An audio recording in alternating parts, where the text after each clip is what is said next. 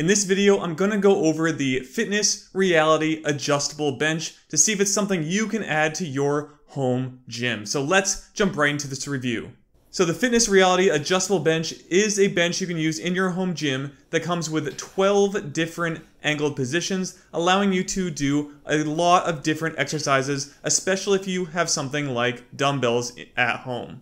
For those of you who follow this channel, you know I'm using the Core Fitness dumbbells as of shooting this video, and it is my staple when using this bench in order to do a lot of my pressing movements as well as some pulling in my training routine. Taking a look at the purchase details, I bought this product from Amazon.com back on March 18th of 2019. At the time, this product was labeled at $89.07. Now today, as of shooting this video, it is July 27th. I took a look at the website to see what's currently running at on Amazon, and it is showing at $119 uh, if you purchase it today from Amazon.com. That is a jump of $29.93 since I bought the original in March of 2019. Alright, let's break down the details of the Fitness Reality Adjustable Bench. So first off, they recommend that no one over 6'4 buy this product. So you can be 6'4 or less. I couldn't find a minimum value, but they just say basically 6'4 is the max height you should be. And this bench can support up to 800 pounds. I don't come anywhere close to that using it from home, but maybe you're someone who can bench a lot of weight or something like that, and you need to watch out for the high, high weights. Just know this can support up to 800 pounds of weight. Alright, so this bench has a total of 12 positions that you can put the back part of the bench up or down at different angles. So the bench does go from a negative 20% angle all the way up to 80% positive.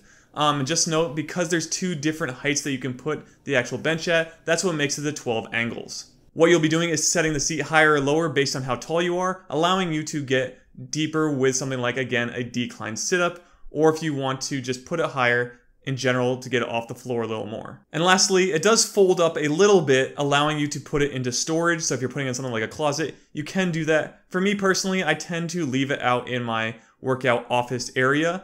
Um, it just kind of sits there, but if you want to fold up and put it in a closet, you can. No, it doesn't get that much smaller. All you're essentially doing is taking that front foot and putting it up underneath, but it is possible to kind of roll it up and put it in a closet to hide it from plain view. And that's it for the basic information of this bench. Now let's go over my pros and cons list for the Fitness Reality Adjustable Bench. So after one year, this bench has been awesome. I've had no problems with it. It looks like it pretty much just came out of the box, maybe a little dustier than out of the box, but honestly, none of it's tearing away. The fabric of the actual cushion has stayed intact. There's no uh, seams coming undone, and no nothing. It is still in great working, and looking order. Just as on day one, I can simply change the angle of the bench as needed. Now I don't go through too many of them. I mostly keep it flat or put it at just a single level up in terms of the angle just to get a little bit more of the upper chest. But other than that, I keep it pretty much the same way. You can put it fully vertical if you want to do something like uh, overhead shoulder press by just sitting on the bench or seated shoulder press.